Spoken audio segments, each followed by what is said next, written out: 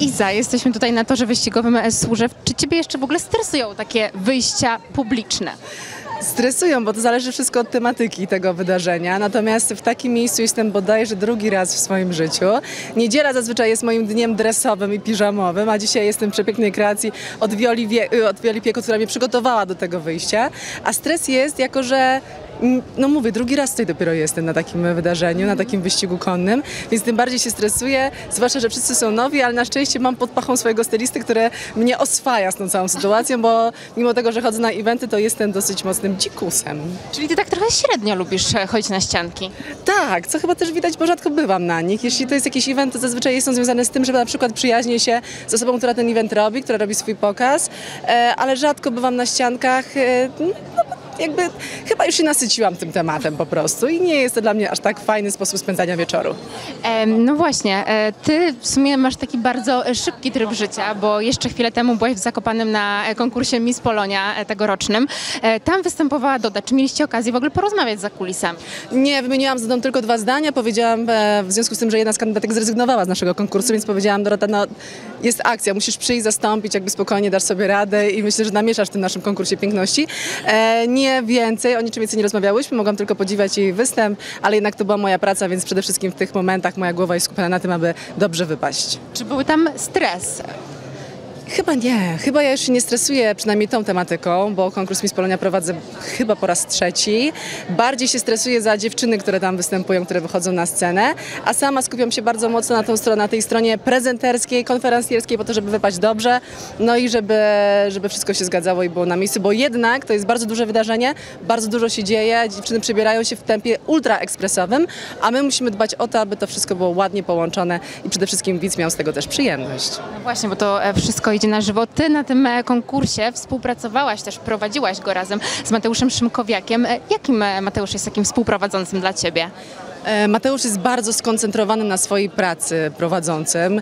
E, stara się zawsze pomóc, tak jak Krysi Sokołowskiej, która była pierwszy raz prowadzącą w takiej roli, e, więc on jej pomagał. Ja raczej mam z nim takie stosunki przyjacielskie. My się totalnie śmiejemy z tego, że jesteśmy razem, bawimy się tym momentem, ale przy okazji staramy się, aby, aby każdy z nas czuł się spełniony w, podczas tego wydarzenia i on zawsze jest tym, który po, po wydarzeniu, po jakiejś gali, którą prowadzimy, podchodzi i mówi i co, jak było, jak było, było dobrze, było dobrze?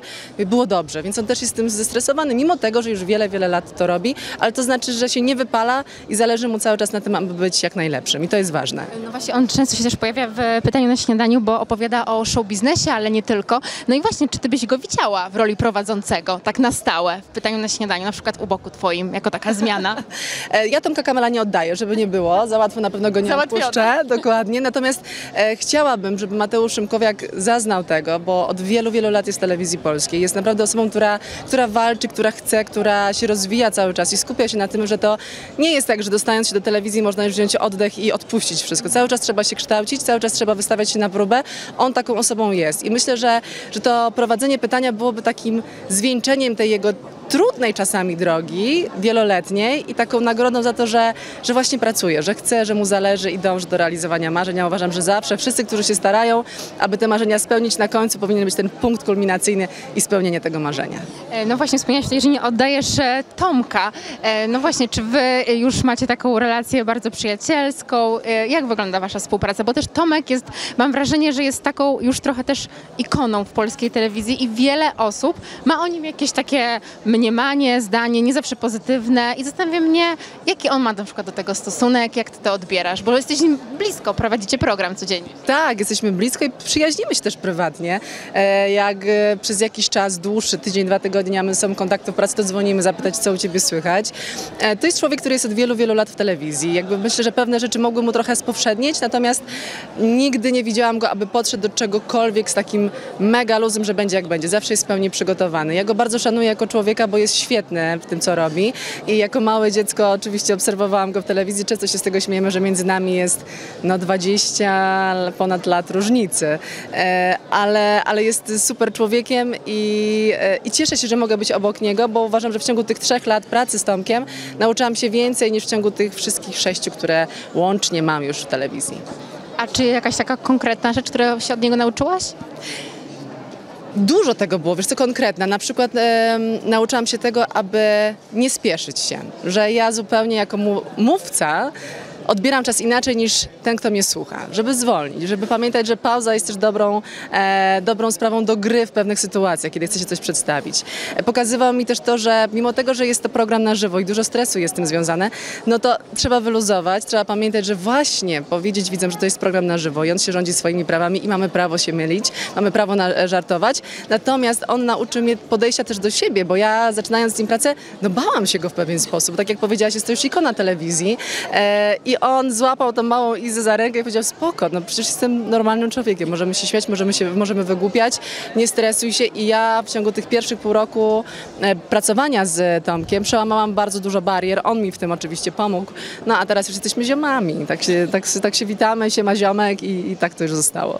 E, Też taką osobą, która jest uznawana też za, chyba za ikonę pytania śniadanie jest Łukasz Nowicki, który ostatnio pożegnał się po 13 latach. E, Jakie jest twoje takie najlepsze wspomnienie związane z nim? Ja uwielbiałam e, współpracować z Łukaszem. Nie, niestety nie mieliśmy zbyt dużo dyżurów wspólnych, ale te, które były, no to to jest, to jest niesamowite, że pracujesz z człowiekiem, którego znasz, ale nie masz pewności, co on za chwilę powie, bo po prostu żartuje ze wszystkiego. Ja uwielbiam takie coś i uwielbiam, kiedy ktoś mnie wystawia na próbę, a on jest tym prowadzącym, który potrafił tak troszeczkę dodać ognia, dodać pikanterii, żeby rzeczywiście zobaczyć, czy ten współprowadzący podejmie temat, czy wręcz wygasi e, i zmieni e, tor rozmowy. Łukasz jest człowiekiem, który bardzo dobrze, mam wrażenie, poukładane ma priorytety. Praca jest bardzo ważna, bardzo ważna jest dla niego, bardzo ważny jest dla niego teatr, ale najważniejsza jest rodzina i myślę, że ta jego decyzja również wynikała z tego, że to jest ten moment, kiedy chciałby się skupić i oddać w pełni swoim bliskim, a jest bardzo rodzinnym człowiekiem, więc trzymam kciuki i, i tu chyba na tej płaszczyźnie się rozumiemy, to jest ten wspólny mianownik, który z Łukaszem mamy, że praca jest fenomenalną sprawą i trzeba się spełniać, natomiast pamiętać o tym, co daje największy spokój w sercu, a to jednak daje rodzinę. To prawda, rodzina jest chyba najważniejsza w życiu każdego człowieka, niezależnie czy jesteśmy gwiazdą, czy nie, czy dziennikarzem, to e, zawsze to jest e, takie najważniejsze i naj, takie naj, najważniejsze chyba w sercu. E, właśnie Iza, bo mm, ty oprócz tego, że prowadzisz pytania na śniadanie, prowadziłaś też Camper Polska i zastanawiam mnie, jakie masz jeszcze marzenia takie zawodowe? Czy jest jakiś program, jakaś tematyka, którą gdzieś już widzisz na tej swojej mapie? No, staram się na razie gdzieś tam e, odzywać w tematach e, bardziej młodzieżowych, jeśli chodzi o programy, bo uważam, że jeszcze mając 28 lat mam prawo do tego. E, przygotowuję sobie taki rozbieg, że właśnie ze mną, która ma coraz więcej lat, coraz większe doświadczenie, ta tematyka programowa też się zmieni. Moim marzeniem na ten moment jest rzeczywiście program typu Camper Polska, który będzie przygodowy, który będzie trochę w stylu reality show, który będzie podróżniczy. Sama uwielbiam podróżować, więc czuję się w tym temacie świetnie, ale chciałabym, żeby zawsze to były programy na luzie, fajne, trochę młodzieżowe, też nie do końca, ale takie, które dają ludziom po prostu chwilę wytchnienia, rozrywki, ale też mają jakiś taki pierwiastek em, naukowy. I w, akurat w Camper Polska pięknie pokazaliśmy Polskę i tereny, których ludzie nie znają, więc tutaj twierdzę, że ten walor został zachowany. No to jak e, przy taki reality show, trochę przygodowe, no to w takim razie Love Me or Leave Me. Czy tutaj byś może się widziała? Nie, chyba Love Me or Leave Me nie. Zostawiam ten program Sandrze Kubickiej, ona się spełnia, teraz stała się ekspertką w tematyce związkowym, związkowej, więc super. E, Myślę, że dla każdego znajdzie się miejsce w telewizji. Ważne jest to, aby robił to, co kocha i e, gdzieś oscylował w tych tematach, które go interesują. Więc Sandra, super, trzymam kciuki za Love Me or Leave Me, a ja pójdę właśnie tą bardziej podróżniczą może stroną. No to ostatnie pytanie już e, takie też e, zawodowe. E, Jest dużo zmian. Ostatnio też bardzo szeroko była komentowana wymiana osób w Dzień Dobry TVN i ja muszę tutaj zapytać, czy gdyby pojawiła się taka propozycja, czy ty w ogóle myślisz o tym? Bo jednak cały czas te obie telewizje śniadaniowe są porównywane, że pytanie na śniadanie zrobiło coś tak, a Dzień Dobry TVN tak. Czy ty to podglądasz, czy w ogóle patrzysz na to? Tak z ciekawości.